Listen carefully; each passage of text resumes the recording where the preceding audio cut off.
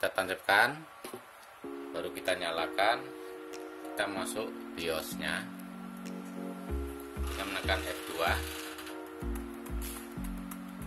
oke masuk F2 kita pilih bootnya kita nah,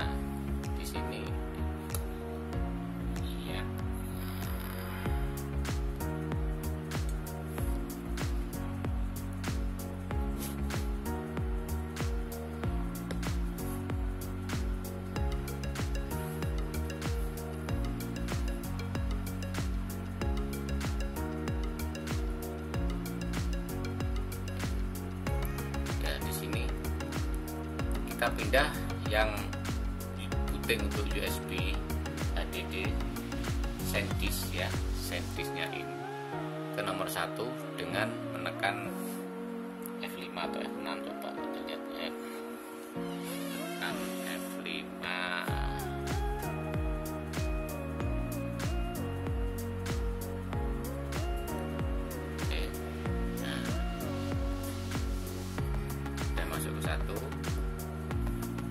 kita pilih exit shifting.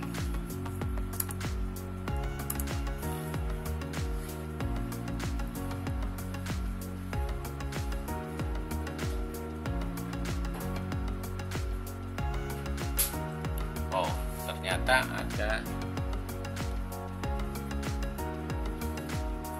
security boot fail. Oke berarti ada kesalahan di settingan biosnya oke kita pindah lagi.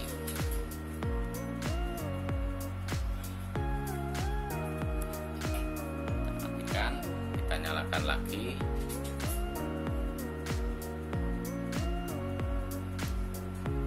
Kita tekan F2 lagi.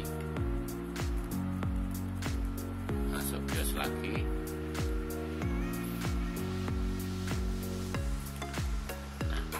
sini bootingnya nah ini secure bootnya kan menunya enable cuman nggak bisa diganti ya saya rubah dia disable itu.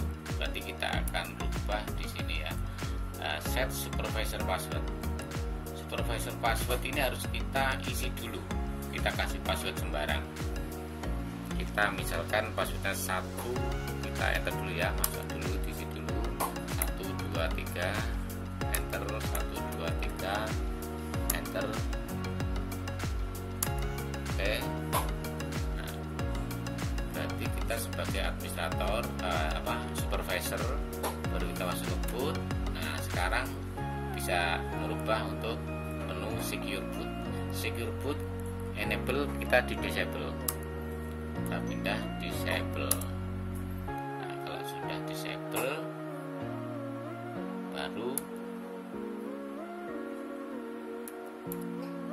kita save.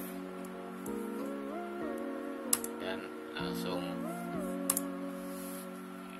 kita enter langsung. Dan harus proses booting. Kita coba bisa langsung apa enggak? Ya ini langsung bisa masuk ke flash disk ini